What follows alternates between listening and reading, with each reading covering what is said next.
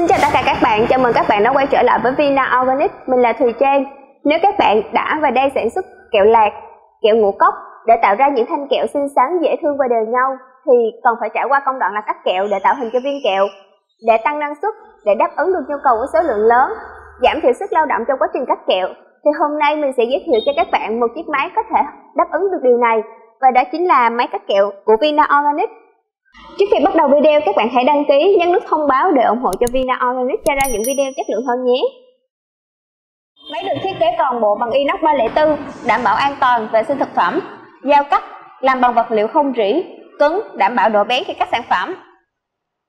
Về cấu tạo, máy sẽ bao gồm hai bộ dao cắt dọc và ngang có thiết kế theo yêu cầu, động cơ hỗ trợ cắt kẹo, tủ điều khiển, mâm cắt đảm bảo chống dính để kẹo ra khuôn được dễ dàng. Về nguyên lý hoạt động Sản phẩm được cắt thành từng thanh theo kích thước thiết kế ban đầu nhờ vào lực cắt của dao cắt. Trước khi vận hành, chúng ta cần chuẩn bị CB hamia Bước đầu tiên, bật CB tổng, đèn báo nguồn sẽ sáng. Bước 2, bật công tắc dao cắt 1 và dao cắt 2. Bước 3, cho sản phẩm vào mâm cắt. Đẩy qua dao cắt 1 và dao cắt 2.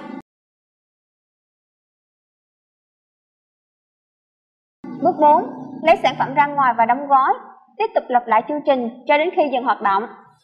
Qua video này, hy vọng quý doanh nghiệp và khách hàng sẽ có những thông tin hữu ích về dòng máy cắt kẹo của chúng tôi. Nếu các bạn còn bất cứ thắc mắc nào, hãy liên hệ với Vina Organic qua số hotline trên màn hình. Còn bây giờ, Vina Organic xin cảm ơn, xin chào và hẹn gặp lại.